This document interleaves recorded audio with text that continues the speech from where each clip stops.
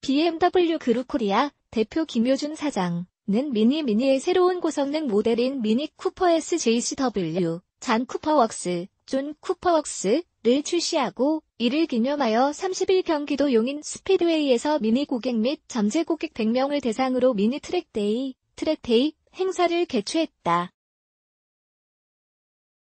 미니 쿠퍼 S JCW는 1960년대 몬테카를로 랠리에서 4회 연속 우승을 차지한 미니의 전통적인 레이싱카 혈통을 이어받은 전설적인 모델로 기존 쿠퍼 S의 보다 성능이 향상된 JCW 엔진 키트 및 스포티한 디자인을 완성시켜주는 JCW aerodynamic package, gear shift indicator, rear spoiler, 18인치 JCW double spoke wheel 등이 적용된다.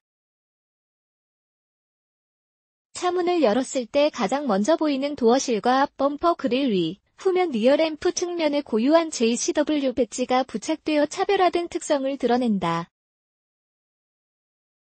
쿠퍼 S JCW는 4기통 twin scroll turbocharger를 갖춘 직분사 방식의 1.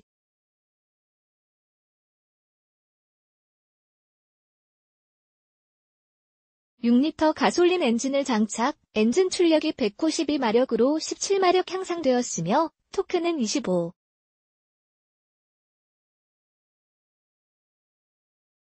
5kg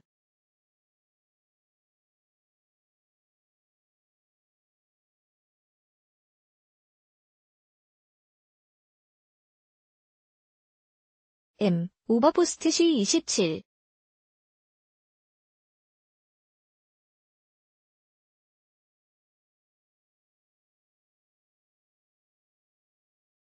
6kg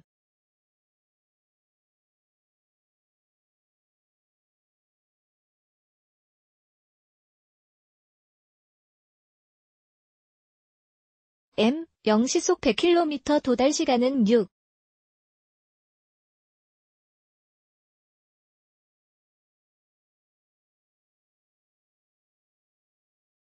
9초로 업그레이드되어 강력한 성능을 자랑한다.